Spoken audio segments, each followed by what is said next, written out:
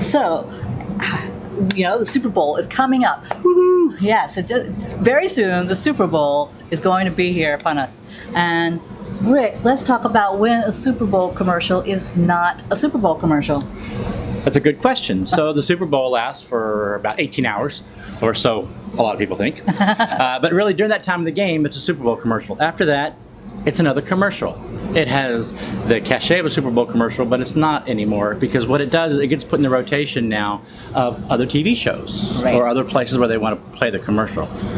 So the commercial is a Super Bowl commercial created, thought about, but the next day, it's just another commercial. Now, a lot of commercials are like this. When you shoot the spots for Major League Baseball, for stuff specifically for the Emmys or the Oscars, people don't realize they're commercial shots specifically for all those events, not just the Super Ah, Bowl. okay. But the Super Bowl has the cachet of being the granddaddy. Right, because it's like famous for the commercials. People always talk about I'm going to watch it for the commercials when they're not football fans. It's just like all about the commercials. Almost like kind of overtakes the game in a lot Well, of ways. it depends on who's playing, yes. sometimes. Uh, but you, so you've done over 50 Super Bowl commercials when you lived in Hollywood, and you found that telling people that when you, once you had moved to Pennsylvania really shifted the perception.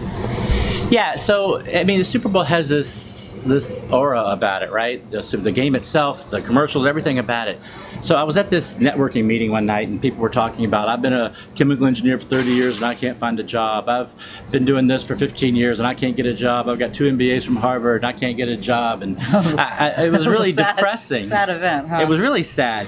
And so out of, out of the blue, I just said, God, this is really boring. And, uh, you know, I've said, I've done over 50 Super Bowl commercials. And the whole room went, and you could just feel the air being sucked out of the room when I said that. And I realized, oh, in LA, it's commonplace for a lot of people to do Super Bowls. Right. But when you're outside of Philadelphia, not everybody knows someone or has, much less has worked on a Super Bowl spot. Right. Which is just like every other commercial, really. It's same crews, same people, same everything. It's just that it has a bigger name to it. Right, but let's so let's talk about how that differentiates you from like all these other video people. Like, so when you switch gears and move from LA to to the Philadelphia suburbs, and we're shooting small business commercials, that was a big differentiator for you. Well, it was because people realized I wasn't the wedding videographer. I wasn't the guy that showed up with the camera and okay, I got the gear. What do you want to shoot? Because that's not what good video is. That's perfect. Uh, what do you want to shoot? Because as a business owner, you don't know what you want to shoot 90% of the time, right? Um, you want to have a video, maybe you want to have a whole series of videos, and you have an inkling perhaps of what should go in it. But a lot of people, they don't really know what's going, what needs to be in. They and don't. that's where you come in. So one of the things about a Super Bowl ad is it's the strategy, right? They people they start working on these things in June or July, and I've shot them as soon as August for the Super Bowl, and I've also shot on January day. 'cause first, that's when uh, a lot of celebrities and stars are available to shoot because they're not doing anything else. uh, so those star spots, but the strategy that goes into it, though, where's it? wh- Why are we doing this? When are we doing? What do we want to get? All that stuff that goes into it is all in the prep and the planning. It's not, hey, let's go to this location and shoot a Super Bowl spot. you don't just like randomly I wake mean, up one day. right? That, that would be crazy to do, right? That, Right. And so, if even if you're a small business, if you're a one-person operation, you don't want to just show up with the camera and go, "Okay, I'll talk."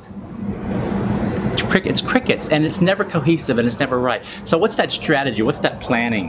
Yeah. And when they think, when the agencies are looking at this, they're thinking about, you know, what what's the ROI we want to get? What what what do we want to do with this video? Okay, next, where's the audience? Well, they're watching the Super Bowl. That's the easy one. This one, what's the platform? On this one, again, it's easy. It's national TV, but you know, what's the product we want to sell? What are we trying to do? Are we educating? Are we selling? Are we doing a brand awareness? There's all these other factors that you have to think about in any video, not just the Super Bowl video. Right, for any small business video.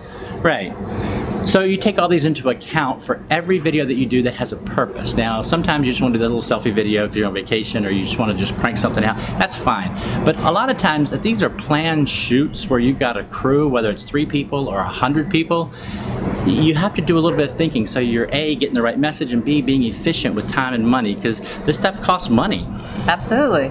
Absolutely. So that's a really a really great point. Is you know you want to be efficient, you want to plan it out, even if there's only one or two people coming to work with the uh, with the uh, with the entrepreneur. Right.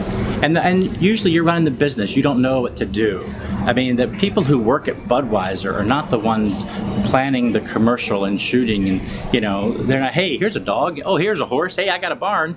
This, these are things that are thought about, that are well prepared. I mean, there's a barn that everybody uses in LA, that, and it's this beautiful barn. I mean, you can eat off this thing, and it's just you plan these things for the best you can possibly get. Right. So when you're thinking of your next video, what do you want? What are the message you want to get across? Where is it going to be? Who's the audience? Like these are all the factors that come into play. Right. I mean, it's no different than when you're doing writing for blog posts. Oh, or, or for web or, Or- anything. Yeah, right. absolutely. You've got It's- plan. You've got to know all these things. It doesn't just happen instantaneously. There's a plan and a prep part. Right.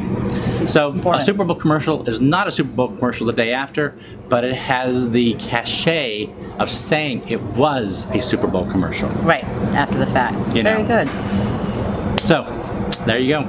Thank you very much. And if you want to know more about video, Rick Toone is your guy. Been doing it a while. Yeah. I think I had my first Super Bowl spot in 1993. Hmm. Maybe that's dating myself. Maybe I shouldn't say that.